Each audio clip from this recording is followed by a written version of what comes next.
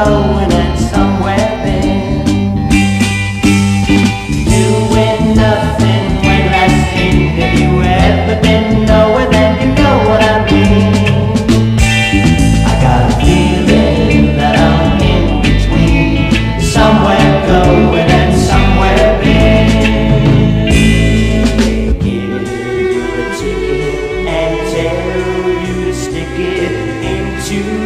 your pocket and pray that the wicked world won't play the trickiest.